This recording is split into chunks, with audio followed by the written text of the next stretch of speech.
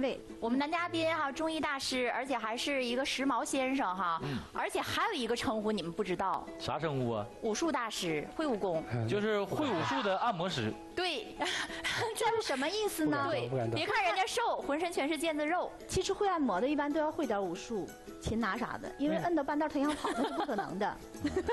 就擒拿术一下哪哪儿跑？从小跟父亲学一些长拳、北派、北北派的。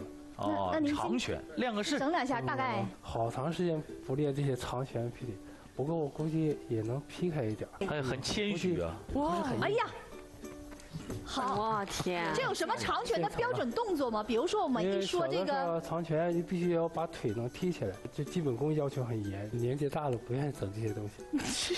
我也会武术，你怎么场场都会呢？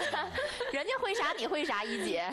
不是，人家别人会跳舞我都不会。我以前学过，上学前学的红拳。这样，如果叔叔跟您在一起过日子的话，他要是说家暴你，还不一定能打得过你，是吗？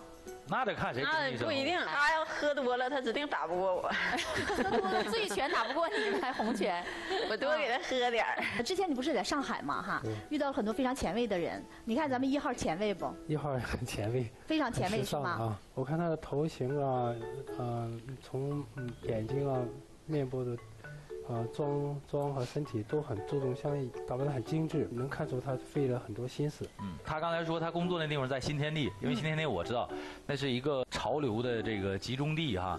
那么我想问一下几位姐姐，对于你的另一半很会打扮这个事儿，你怎么看？其实也赞成男士吧，爱打扮，给自己整的立正点的。但是你这耳环，其实我觉得就有点多余。如果你二十多岁了，三十来岁了，可以戴。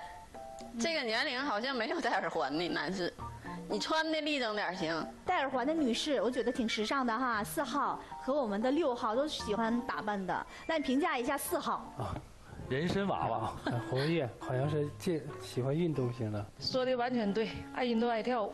四号女嘉宾，您的头型是找人专门设计的吗？嗯，我儿子就是做头发的，头发理发的。嗯，他觉得你这个头发型特别适合您，是特别可爱，知道吗？霞姐。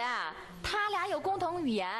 我四姐在调冰山，人家也是经营一个按摩院，而且还是调冰山广场舞创始人。主要就是对，给我拔罐了，给我啊还刮痧他。那他跟我是同行。对，同行。您对咱们女嘉宾也评价一下，那耳环戴的咋样？啊，挺好的。挺时尚的。啊，挺时尚。他如果这身这头型跟你出去溜达行不行？需要他改不？不行是吧？肯定要一瞅就不像这么冷，肯定要穿衣服的。不是，人家现在也没光呢，人家穿着呢。刚才让我穿，我都没穿，我就要这个造型。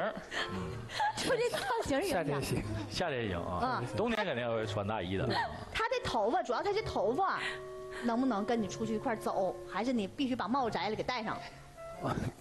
行。可以是不是？我好多，我还没多大头发。他心态很好，而且就像小孩子似的。对对对。我觉得我们这个年龄就应该有像他这样的心态，很活跃，也挺挺好的。挺帅气。